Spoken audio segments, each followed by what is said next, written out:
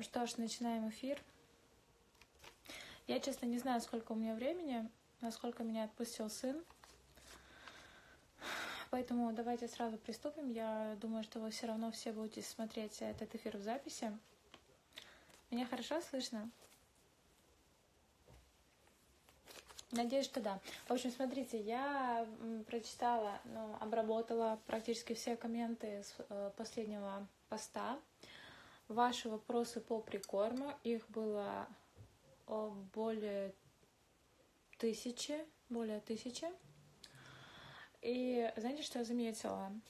Они все однотипные, однообразные. Я, в принципе, могла бы ответить на первые 30 и больше не отвечать ни на что, и вы бы нашли ответы на все свои вопросы, но так как я обещала ответить всем, я ответила уже э, на три четверти я уже ответила. Я, даст Бог мне сил, я отвечу на все, но, смотрите, я выписала наиболее частые. Что вы мне там пишете? У меня такое плохое зрение, не вижу. Ладно, потом. Э, я выписала практически самые часто задаваемые вопросы по прикорму. И сейчас э, быстренько мы по ним пройдемся. Вебинар будет в пятницу в 12 дня. Ссылку я вывешу в сторис. Зайти можно будет посмотреть э, до 300 человек. Я думаю, примерно 300 и будет по моим подсчетам. А то, что сейчас прямой эфир, я просто хочу поговорить с вами про прикорм. То есть это, можно сказать, при пати при пати к вебинару. Вебинар будет бесплатный, а, запись будет платная, а, методичка будет платная. То есть, кто хочет попасть, попадайте. Я почему хочу еще этот эфир провести? Потому что, чтобы вы понимали вообще, с кем имеете дело. Потому что я не э, тот консультант, который будет говорить вам про смешанный прикорм, про Э, педиатрический э, прикорм, что это ок, что вы как мать вам лучше знаете. Я не считаю, что э, медицинские схемы введения прикорма являются оптимальными для детей. Медицинские схемы прикорма, они созданы для особых случаев, вынужденных случаях. Это схема не в интересах ребенка изначально. Запомните это раз и навсегда. Когда вы приходите к педиатру и спрашиваете, как мне кормить моего ребенка, он вам не дает схему э, естественного прикорма. Он не знает о ней. Он дает схему э, медицинского прикорма. В чем, в чем суть? Суть в том, что когда маме нужно выйти на работу, маме нужно пить лекарства, у мамы э, перегорело молоко, мама выходит на работу, мама не может кормить, допустим, и так далее. В общем, мама не может кормить. Значит, ребенку нужно давать принудительную пищевую нагрузку. Принудительная пищевая нагрузка, она всегда э, будет даваться э, для э, ребенку даваться тяжело. Будут какие-то побочки – вот эти побочки а, большой пищевой нагрузки будет лечить педиатр. Поэтому такие вещи, они идут под контролем педиатра. Запоры, аллергии и так далее и тому подобное – это следствие медицинских схем прикорма, когда ребенок садится и в 8 месяцев ест 200 граммов каши. Если мама может кормить ребенка грудью, Э, если она рядом со своим ребенком, если она готова уделять ему время, если она готова творчески подойти к процессу э, прикорма, а не покупать там банку, в, э, банку там чего-нибудь в магните и кашу из пакета, то э, она обязана, как мать, я считаю так, да, если у нее есть возможность, она просто обязана нормально вводить ребенку прикорм, потому что это то, что возможно на всю жизнь будет э, последствия, в общем, я очень устала сегодня, последствия этого э, неправильно сформированного пищевого поведения, они могут э, длиной э, в жизнь быть. Есть, вы знаете, есть люди, которые не переносят овощи, не едят супы и так далее и тому подобное. Едят только под телевизор. Это все родом из детства. Давайте начнем. А теперь по вопросам. То есть я объяснила, да, почему естественный прикорм это прикорм в интересах ребенка, потому что ребенку дается ровно столько еды, сколько ему нужно, он, он уме, имеет право выбирать, отказываться. Вы следуете за потребностями своего ребенка. То есть это естественный прикорм. Еще очень важно в естественном прикорме то, что вы даете ребенку еду с общего стола, потому что первая задача прикорма она в том, чтобы познакомить ребенка с той едой, которая принята в вашей семье. Не вот эти вот каши э, из пакетов, вот эти вот э, на муку похожие, да, не вот это пюре гомогенное. Это не еда, которую вы с мужем едите, потому что ребенок, там цель прикорма, как звучит, вот на курсах нам говорили, как звучит цель прикорма научить ребенка а, есть так, как это делают взрослые, то есть кормить себя самому. Взрослые что делают? Они кладут себе э, еду и едят. Они не разводят себе, ну, конечно, бич-пакетики иногда едят. Но в нормальном мире мы что делаем? Картошку варим, суп наливаем себе. Ребенок тоже должен учиться так есть. Соответственно, мы его кормим едой с общего стола. И это самый нормальный вариант. И взрослые а, кормят друг друга только в момент романтических игр, а в обычной жизни каждый человек и кормит себя сам, соответственно, ребенок тоже кормит себя сам. Потому что наша задача научить ребенка кушать так, как это делают взрослые. Первая задача прикорма – это когда мы ребенка знакомим со вкусами. У нас нет цели, когда мы вводим 6 месяцев что-либо, у нас нет цели его накормить. Как минимум до 8-12 месяцев у разных детей разные сроки, когда они вот начинают именно насыщаться прикормом. Соответственно, вы можете давать э, разнообразные штучки, маленькие микродозы, чтобы ребенок пробовал. Итак, э, первый вопрос, когда начать? Когда же начать? Вот вопрос этот на самом деле очень сильно людей волнует, хотя а, как э, давно уже, по-моему, известно всем, сказала ВОЗ, что прикорм ранее 6 месяцев не начинается. Но я, например, начала прикорм немного раньше. На самом деле, вот эти все нормы, а, графики, схемы, а, это такая штука очень условная. Если а, вот в 6 месяцев считается, что у ребенка созрел, а, со, созрела уже психика, нервная система и желудочно-кишечный тракт, то есть ферментная активность там, и так далее и тому подобное, вот примерно, но это тоже ориентировочно.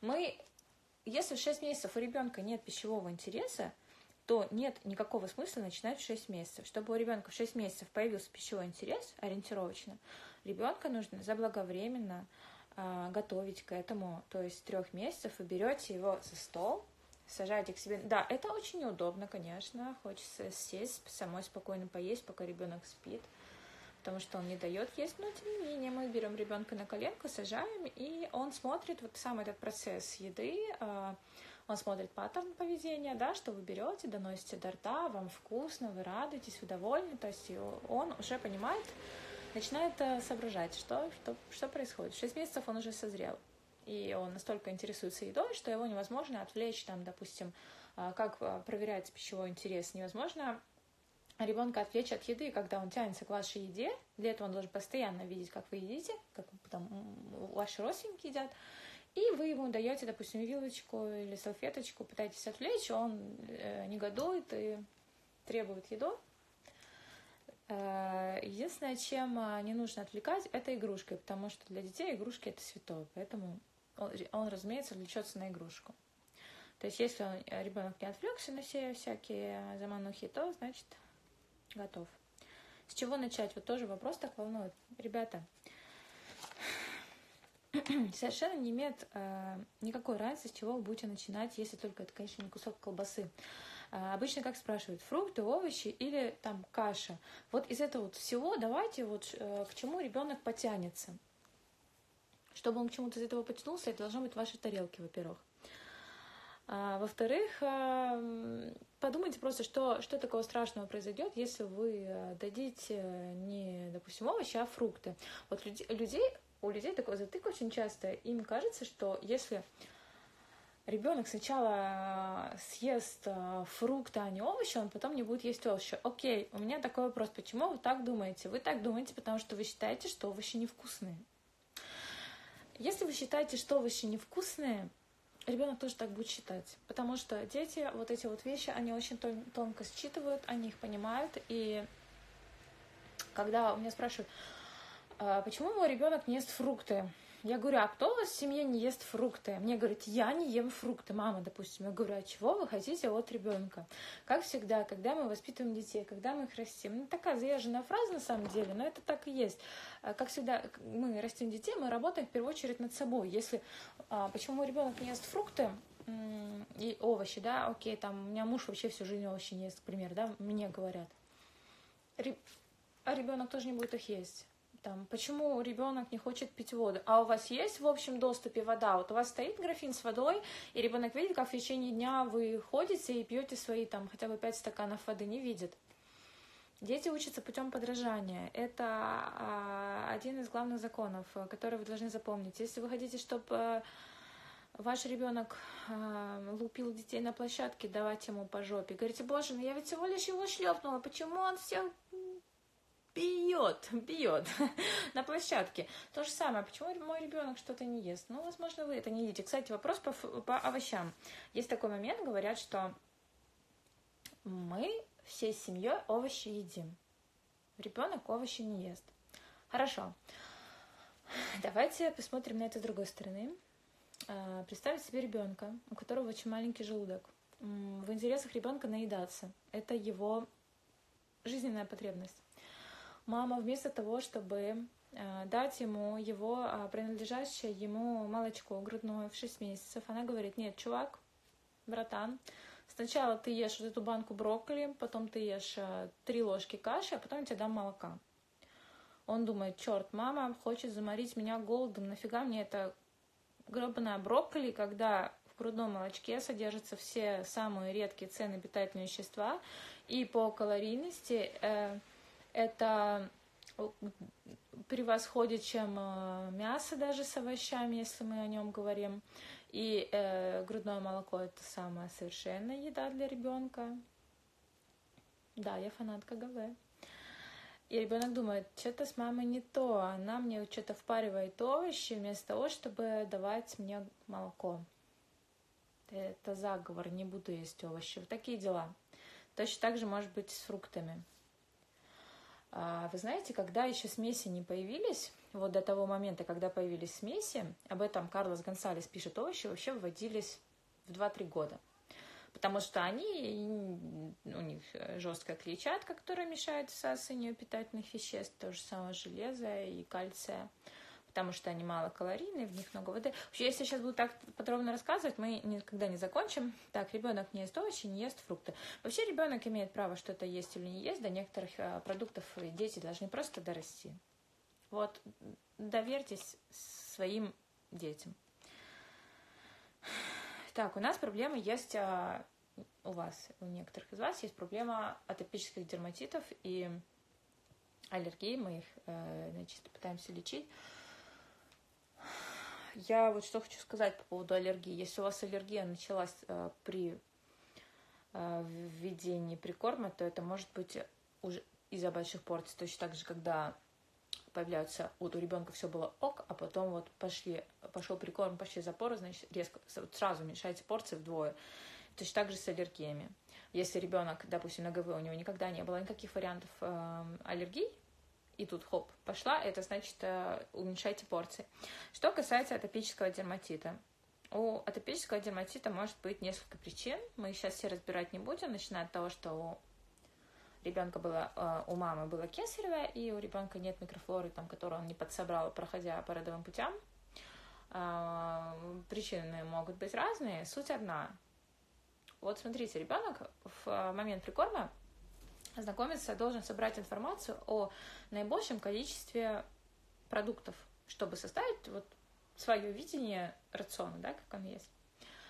Вы в этот момент его жестко ограничиваете всем, потому что у ребенка аллергия. То есть это не есть хорошо. Соответственно, я предлагаю э, проявление топического дерматита аллергии лечить а не ограничить рацион. Насколько это возможно? Я уже много раз советовала Лизу Догадаеву, мне даже писали, что типа, это что, реклама?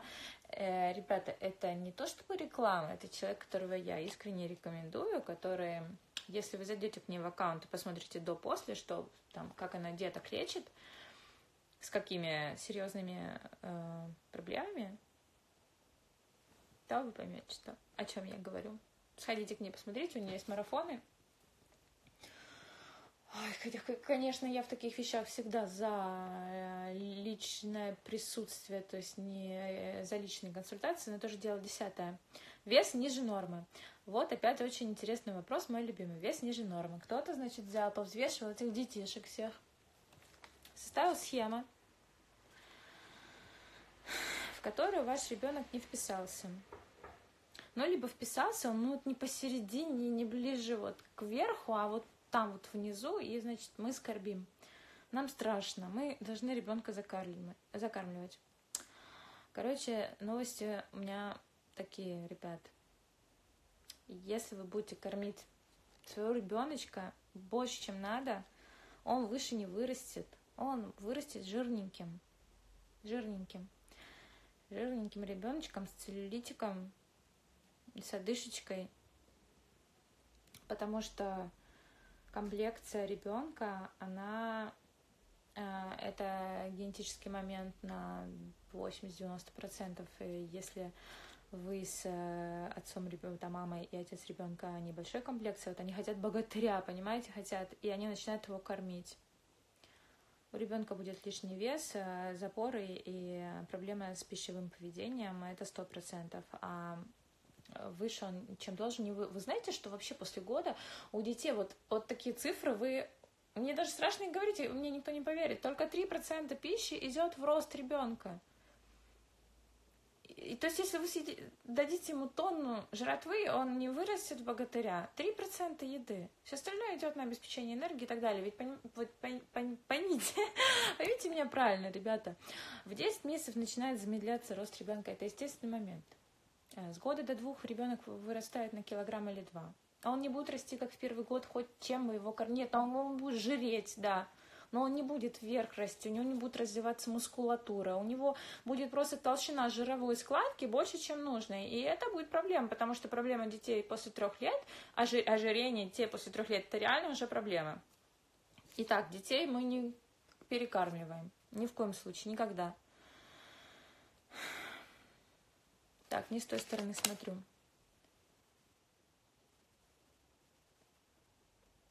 Пропал аппетит. Вот пропал аппетит, это сразу говорю, э, мы не знают наши врачи такую тему, но когда у ребенка пропадает аппетит, э, аппетит вообще не пропадает э, у здоровых детей, у которых все хорошо.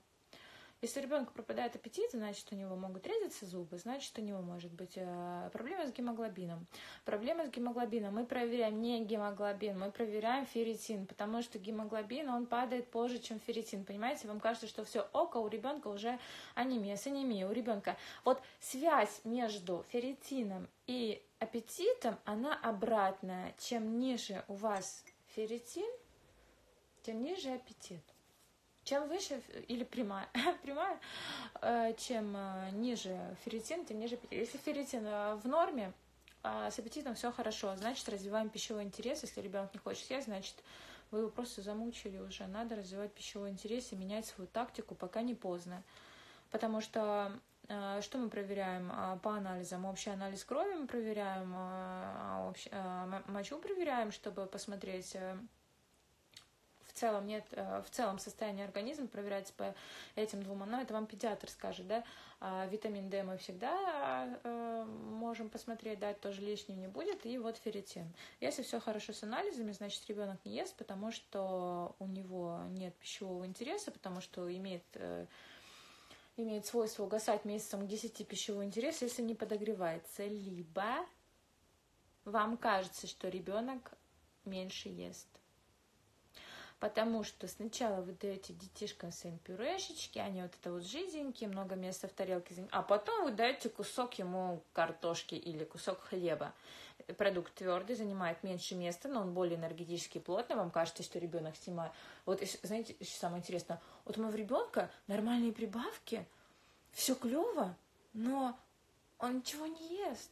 Помогите мне решить проблему. У вас нет проблемы. А, если вам кажется, что ваш ребенок ничего не ест, для начала заведите на пару дней э, дневничок дневничок питания ребенка и записывайте все, что он ест. И, быть может, вы э, в конце дня прочитаете и поймете, что на самом деле он съел много. Э, едем дальше. Так, та-та-та. Ест только сладости. Ребенок ест только сладости, вкусняшки и так далее. Э, сразу вопрос, почему в вашем доме лежат сладости и вкусняшки, если вы видите, что это проблема. Мы, значит, убираем сладости и вкусняшки, чтобы это не было, не выглядело террором. Мы э, всегда э, во все, особенно все, что касается прикорма, да и в целом воспитания детей, мы относимся с любовью и уважением к ребенку. То есть, если мы убираем сладости или убираем мультики, мы говорим, так, мама сказала, сегодняшнего дня ты этого нет.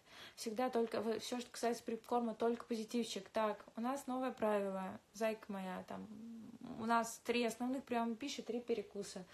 Вот на перекус у нас есть пастила, там хлебцы, батончики, там то все, пятое, десятое, а вот это вот выбирай. На основной прием пищи у нас вот это и вот то. И все, ребенок голодным себя не оставит.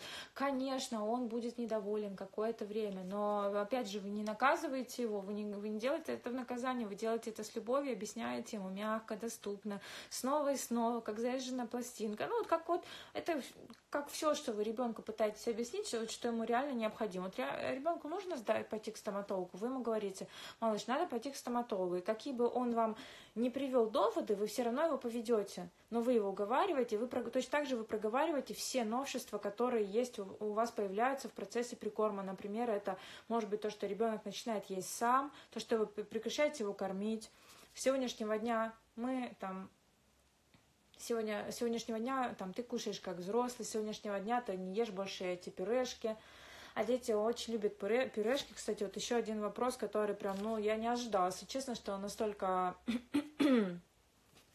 злободневный для огромного количества людей, то, что сначала начинается прикорм не с настоящей еды, со взрослой, а вот с этих пюрешек, и дети на них подсаживаются, и буквально приходится ребенка отлучать от пюре и приучать к взрослой еде. Вот представьте, вот зачем вам этот гемор, если можно сразу начать и сразу э, такой вопрос. Э, во-первых, что делать уже с детьми, которые привыкли к этим пюре? В два года ребенок ест только пюре. Ну, ребят, надо, значит, в это пюре сначала комочки добавлять, потом микрокусочки, потом э, вилочка, это все. То есть э, мы уменьшаем гомогенность, постепенно это ребенку даем. Но до этого лучше не доводить. 8-10 месяцев уже кусочки, прям кусочки.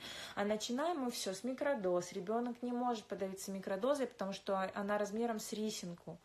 И вот когда вы даете ему эту рисинку, он ее там повозюкает во рту, там потрет ее, проглотит, и так будет учиться уже сразу обращаться с взрослой едой, потому что у меня был случай, когда ребенок за ночь э, просыпался и съедал 10 пюрешечек вот из этих вот штучек. Забыла, как называется которые так вот выжимаются. Представьте, какая жесть. Мама вставала и просто ребенок не засыпал, она вот давала ему эти штуки.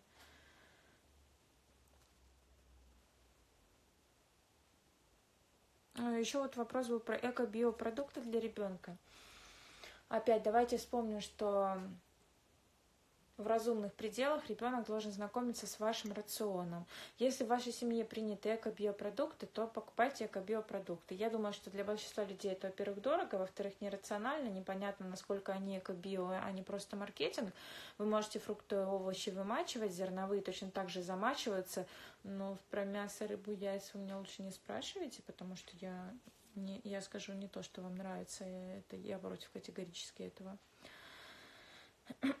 Поэтому биопродукты, опять же, вот авокадо. Вводить ли авокадо, если это экзотический продукт? Если для, если для вашего стола это традиционный продукт, то вводите. Если вы хотите что-то там супер, супер ребенку дать с этого авокадо, а вы в семье его не едите, то вводите его совершенно не обязательно. как построить рацион? Как построить рацион? Раци... Ребенку не надо строить рацион. Ребенку а, рацион нужно строить себе. Вот себе постройте рацион, Постройте такой рацион, чтобы вам было не стыдно есть вместе с ребенком и не страшно. Потому что когда вы едите что-то тайком, то ребенок тоже от вас будет есть тайком чипсы. Если вы говорите, тебе это нельзя, а почему мне это нельзя? Почему папа делает то, что мне нельзя? То есть вы не объясните ребенку, почему можно колбасу, а ему нельзя. Поэтому работаем в первую очередь с собой, над собой, э, чтобы ваш рацион был настолько крут, чтобы его можно было дать детям. И так, как построить рацион? Давайте вспомним список Грегора хотя бы по одной позиции, чтобы было в вашем рационе фрукты, ягоды, овощи, зелень. Отдельно идут у нас крестоцветные овощи, зерновые, бобовые, орехи, семена, вода, спорт. Да, детям тоже нужен спорт, э, возможно, просто прогулки, но вот если у ребенка проблемы с гемоглобином, то помимо того, чтобы отслеживать B12, D, э, принимать э, содержащие витамин С продукты и железосодержащие продукты, надо еще много гулять. И прям гулять, знаете, прям дышать воздухом свежим по 5 часов в день. И тогда у вас проблем не будет с гемоглобином. Добавки. Так, добавки. Про добавки, что я могу сказать, что если у вас на растительном а, питании ребенок, то с 6 месяцев пьется B12, D пьется чуть ли не с месяца, это вам уже ваш педиатр скажет. Омегу можно пить тоже с 6 месяцев, а, три раза в неделю, добавку ДГК, ЭПК, йод, а, ну, тоже анализы сдать. У нас в стране поголовный дефицит йода, поэтому было бы неплохо. Так.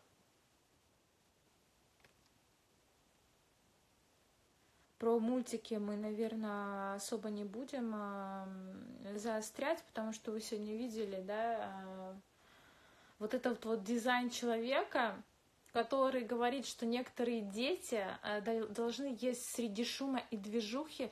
Вот честно, я за это уже сразу возненавидела дизайн человека и сказала, мне вот это вот бесятина просто вообще, ну такая ересь. И когда говорит, мы вообще в семье там мы не смотрим телевизор, но ребенку включаем развивающие мультики на английском языке, э, э да, потом у ребенка просто будет язва, и он сможет вызвать скорую на английском языке. Э, мультиков быть не должно, ребенок должен быть э, осознан в процессе. И, и, пожалуйста, не подавайте им такой пример, тоже не сидите в гаджетах, уж можно, я думаю, 15 минут посидеть без гаджетов. Опять начинаем с себя, как обычно. Как подогревать пищевой интерес? Вот эта вот тема, она самая важная. Вот люди, они на самом деле очень сильно сосредоточены. А, вот мамы, они такие, такие мамы, они хотят, чего хотят? Они хотят окружить себя правилами, потому что вот когда человек не знает нифига, а ему хочется окружить себя правилами, потому что ему так безопасно. Поэтому она, значит, так, значит, брокколи ввожу сегодня, там завтра, послезавтра, потом цена капу. Нет, если вы мне там не дадите вот точные схемы, тогда я вот, мне такой консультант не подходит. Окей, самое главное, что вы должны знать, как подогревать пищевой интерес. Если вы будете уметь подогревать пищевой интерес ребенка, у вас в жизни не будет проблем, что, когда, что давать, потому что ребенок сам интуитивно будет выбирать то, что ему нужно. У детей великолепная интуиция, нюх, осязание, обоняние, они могут увидеть какую-то вот еду в, в дальней части комнаты, буквально там 6 месяцев, они унюхать ее могут, и они уже по цвету, по аромату, они понимают, что это вот это, да, это мне нужно. И вот этот бедный ребенок, он тянется к этой картошке, говорит, дайте мне картошку, она такая, Сорян, чувак, ничего личного, но мы сегодня едим банки. И вот, а потом вопрос, почему ребенок мой любимый вопрос. Почему ребенок закрывает рот, сжимает рот и плюет? Ну, потому что не надо его кормить. Потому что вообще, э, что значит зажимает рот? Он должен сам брать руками и э, сам это есть. Тогда у вас даже не будет вопроса, почему он плюет. Почему, кстати, ребенок плюет? Потому что часть прикорма – это научиться избавляться от пищи, если она тебе не нравится. Вы же тоже выплевываете то, что вам не нравится. Вот вы случайно там куснули что-то прям вот ну вообще не то. Вы тоже выплевываете, он тоже должен это уметь. Он имеет право на свои чувства, на свои предпочтения. Вот рот ребенка это его первая линия обороны. Если ребенок выплевывает, значит вы делаете что-то не так. Вы даете не то, либо вы даете слишком много. Игнорировать это нельзя.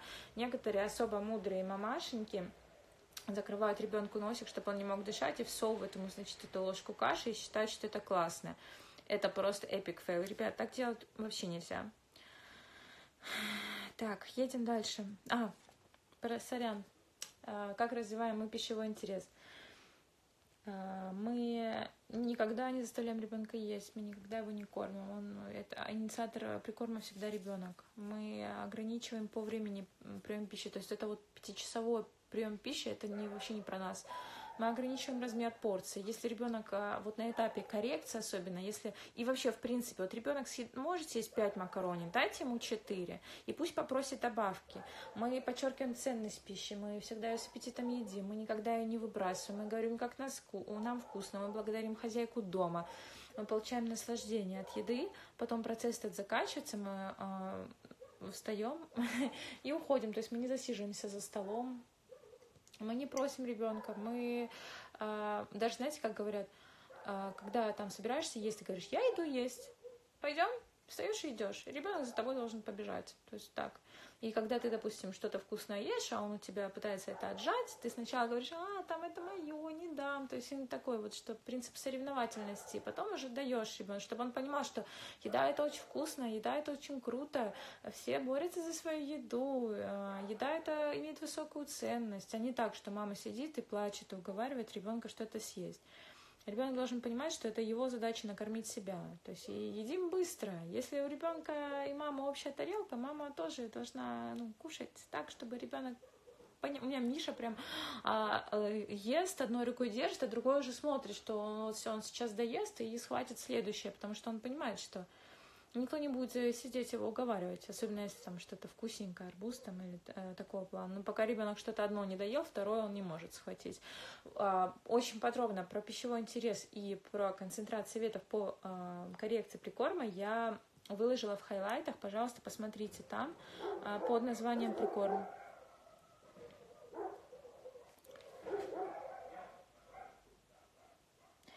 Uh, так, значит, это мой ТДТ. А если ребенок кидается едой, вот сейчас мы уже про коррекцию говорим, если ребенок кидается едой, то ребенок... Я вернулась, у меня была... были проблемы со связью, не знаю, насколько вы успели. Все, все ли услышали? А, значит, если ребенок кидается едой, то ребенок наелся. Э, э, раз, слишком большая порция, он не дорожит едой. Потому что если у тебя одно маленькое пироженка, ты не будешь им кидаться. Если перед тобой стоит ящик пирожных, ты, может быть, и кинешь кого-нибудь. Соответственно, мы просто не ругаем, вообще никогда ребенка не ругаем за что за столом. Все хорошее мы подмечаем и хвалим, но спокойно хвалим, опять же, без истерики. Все негативное мы принимаем с любовью, и все.